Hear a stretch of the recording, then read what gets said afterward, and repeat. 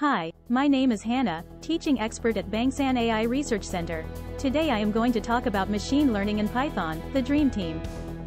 The goal of machine learning is to teach machines, software, to carry out tasks by providing them with a couple of examples, how to do or not do a task.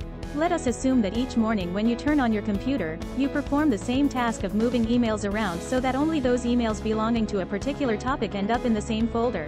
After some time, you feel bored and think of automating this chore. One way would be to start analyzing your brain and writing down all the rules your brain processes while you are shuffling your emails. However, this will be quite cumbersome and always imperfect. While you will miss some rules, you will overspecify others. A better and more future-proof way would be to automate this process by choosing a set of email meta-information and body, folder name pairs and let an algorithm come up with the best rule set. The pairs would be your training data, and the resulting rule set, also called model, could then be applied to future emails that we have not yet seen. This is machine learning in its simplest form. Of course, machine learning, often also referred to as data mining or predictive analysis, is not a brand new field in itself.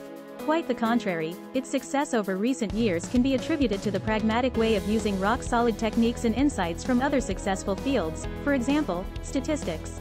There, the purpose is for us humans to get insights into the data by learning more about the underlying patterns and relationships. As you read more and more about successful applications of machine learning, you have checked out Kaggle.com already, haven't you? You will see that applied statistics is a common field among machine learning experts.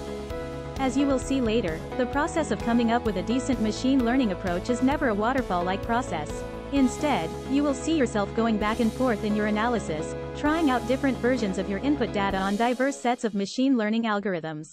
It is this explorative nature that lends itself perfectly to Python.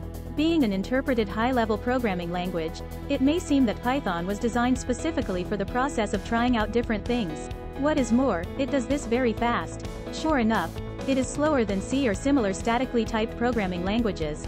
Nevertheless, with a myriad of easy-to-use libraries that are often written in C, you don't have to sacrifice speed for agility.